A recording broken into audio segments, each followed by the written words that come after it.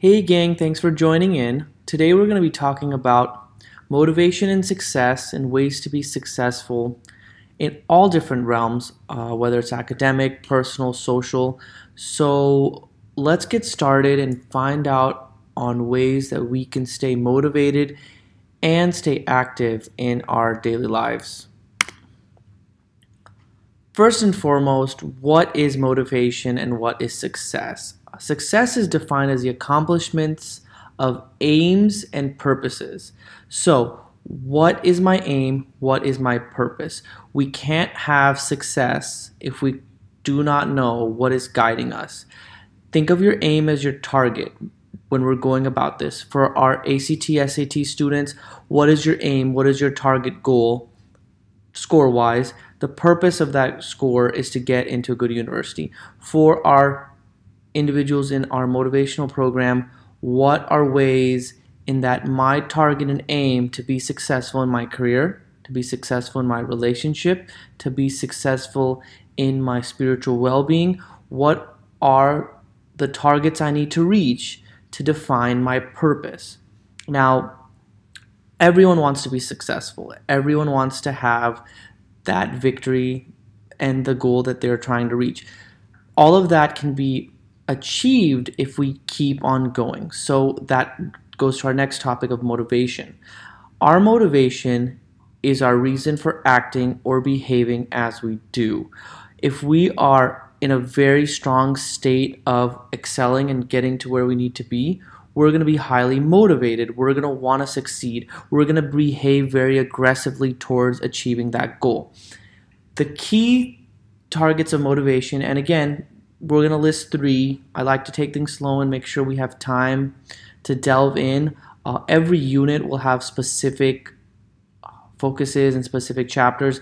This is kind of a very brief overview of motivation, but what I find most important is that ability to activate, the intensity or passion to stay motivated, and the persistence of staying and learning and achieving our goals. If we are not persistent, we're not going to be active and we're going to lose that intensity. It all works together. Again, there's very there's a lot of steps to motivation. It's it's very individualized to the person, but these are three that we can kind of all relate to and kind of just start talking about what we define as motivation. The psychology of success. Now, psychology is the study of the mind and kind of just the processes of the mind. The psychology of success is delving into what we find as successful. Now, success and kind of the, our mission statement here is kind of just what did you learn? What did you learn today? What did you learn this week? What did you learn this year? We're always constantly learning, and our mission statement goes down with the idea of we are lifelong learners. We're always wanting to learn and be successful in our lives. So we start by asking ourselves, what did we learn today? How do we make today successful? How do you keep going? How do you keep motivated when things get tough? These are very, very strong questions that we can ask ourselves.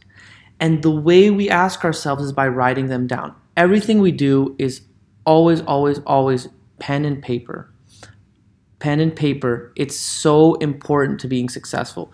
Writing down what we learned in uh, the moment can really help us and really shape us in being successful. Now, I, when we define steps to success, these steps need to be clearly written down. Again, we can write down 10, 20, 30 steps, it's very, very important because we're getting it out of our head. One of the most brilliant minds of all time, Albert Einstein, said, Why remember something when you can write it down? That's a pretty profound statement. Why remember something if you can write it down? The ability to write down and put our thoughts on paper gets them out of our head. And when we start clearly defining our steps, and now just to clarify real quick, we're writing down our steps, we're not acting on them we're not in the activation phase. We're just writing down our steps. When we write down our steps, we are clearly defining our roadmap to success. We're not acting on it yet because guess what? We need to we need to write that map because everyone's journey is different. Is it academic? Is it personal? Is it social? What is the goal we're trying to obtain? So when we get our map, our roadmap written down, we're going to have a better picture and how we're going to act on it. And that's the kind of a beautiful part of this journey. We can go about that together. Kind of continuing further with the psychology of success, when we write down our activation plan, how can we cha- how can we tackle these challenges we are facing we're all facing challenges and sometimes it can be overwhelming they can be bombarding us in every different direction how can we tackle these challenges specifically and how can we stay motivated these challenges are going to come in any way shape or form we can have a great day and we can have a bad day but staying focused on our tasks and kind of reminding yourself of your effort we're all struggling in something. But if you can take time out to appreciate yourself, and again, we'll have a big presentation on gratitude. I'm a big, big fan of gratitude. I find it so important to be grateful for everything we have in every moment and every day. But right now, how can we appreciate our efforts and appreciate ourselves in what we're doing in this moment, in the next moment, today, tomorrow. Remind yourself that your efforts count. There's no small effort, there's no large effort. You are making an effort every day and it's being appreciated by you, by the universe, by everyone. Again, let's write down a risk. There's a risk I've been wanting to take. There's something I wanted to try. There's something I've been wanting to do. Write down this risk that you've been wanting to take. We can add it to our roadmap and add it to our plan, but when we clearly write down the risk we're wanting to take, we can better negotiate with ourselves, our life coach, someone mentoring us on how we can take that plunge. And if that risk is worth taking now, or maybe we should hold off. But writing down that risk will get it out of your head, get it on paper, and then you can balance the pros and cons. Again, improvements are slow, they take time. Don't rush. By writing everything down, we're getting out of our heads and we're getting it on paper we're not acting on everything yet. We're not acting on a lot of things because we're just trying to get all these thoughts in our mind down on paper and then we're just going to organize them. And then slowly, slowly, slowly, we're going to try to see how we can be successful. Going back to our aim. Now, our aim is to what? What's our aim in life? We need to live with a purpose. We need to learn with a purpose and we need to grow with a purpose kind of take time to write down ways in which you live with a purpose, ways in which you're learning with a purpose, and ways in which you're going to grow with purpose.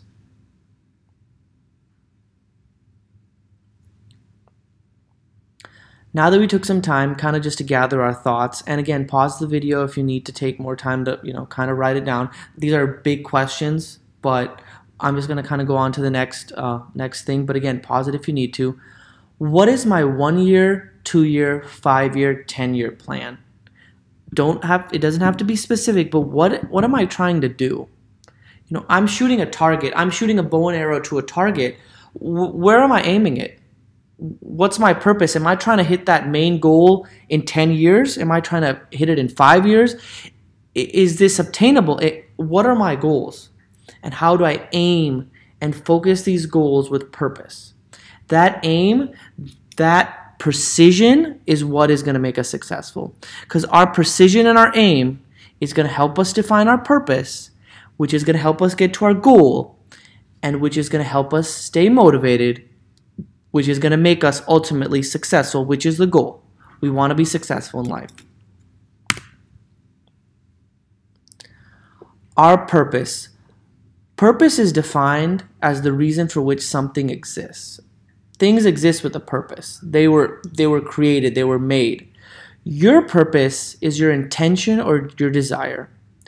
It is your end. Now, this is a very big word because end doesn't mean the end. End just means the end of one thing and the beginning of another.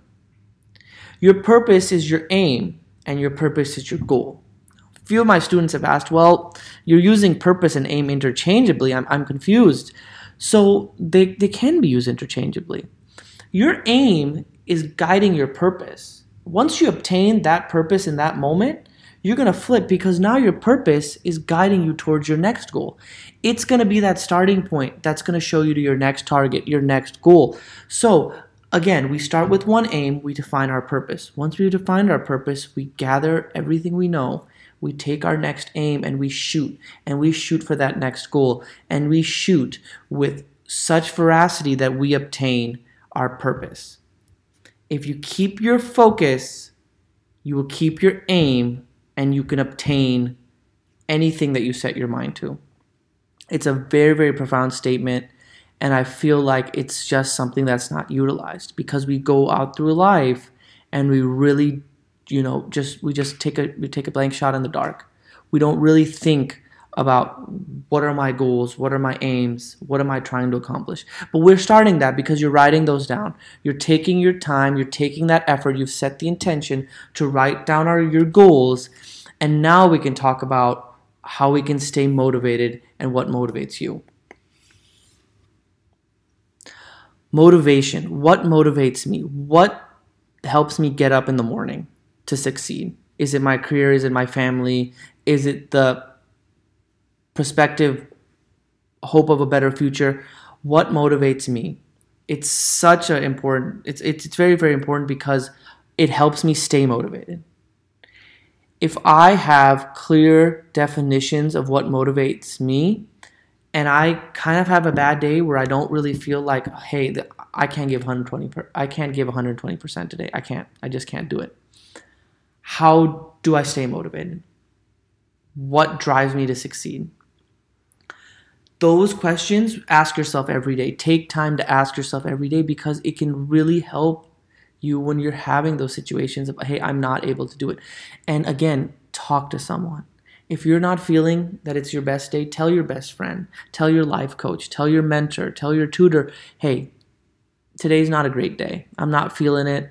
I want to chill let's just you know take it one step at a time by having good motivation we can see our goals. And if we're not feeling our at 120% today again and this is kind of a side note i always tell all my you know students we don't give 100% we give 120% every single day. 100% doesn't exist in this world. You need to give 120% if i'm not at 120% let me look at my list of my goals because my goals define my success. And those will help me stay motivated and those will drive me to succeed. That written list again you write it down write it down every day. Crumple it up into a ball and throw it away and then rewrite it. Rewrite your goals rewrite what makes you successful and how to be successful every single day because that's going to that's what's going to push you. That's what's going to push you to the next level and to make you a better person. Talking about motivation, and again, there's so many different components to motivation. We're just going to really touch up on these three things activation, intensity, and persistence. So, activation means making something or awakening. Right now, if you're watching these videos for the first time or this is, you know, your first introduction to our material, it's really important that you see this as an awakening. There is active, so in science, there's potential energy and there's kinetic energy. Think of this as your activation energy potential. You're activating something in you. You are awakening this motivation and you're awakening this desire to succeed and change something in your life. That awakening is fueled by intensity. Again, it's this force. Intensity is defined as a force to exert change. You're going to take this activation potential energy and you're going to push so much motivation into it. You're going to exert so much force that it's going to create a level of persistence that is going to keep on pushing you, that's going to keep on driving you, that's going to keep you motivated regardless of the situation. These are very, very important. And just kind of as you know as we get toward the end of the end of the presentation motivation is the key. Motivation will help us be successful with aim and purpose but again we need to activate it. It needs to have force to change. We need to put these changes into motion. And we need to be persistent. We need to do them every day. That way, we can stay at the level we're going at and we can just see drastic we can see drastic changes. Just by changing one small thing in your life, you can see drastic drastic changes every single day.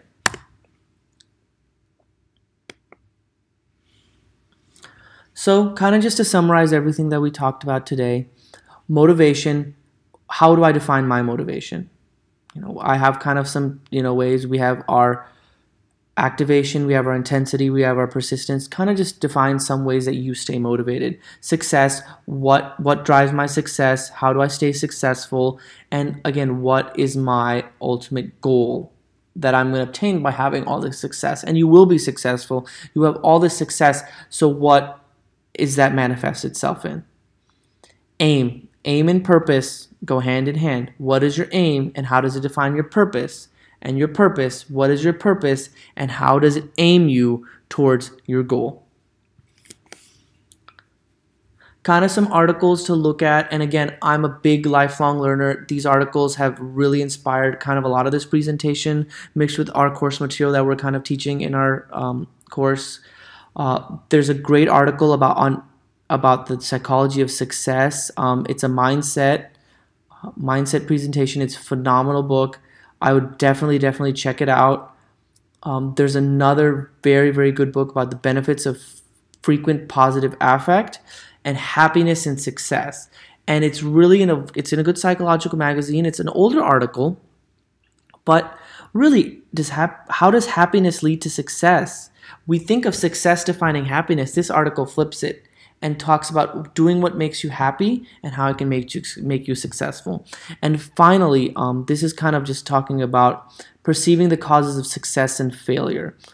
Uh, success and failure go hand in hand. We really haven't talked much about you know both of them together. That's for later presentation. But as of right now, just focusing on your goals and how to be successful are very very important for all um, for anyone watching this presentation and kind of going forward.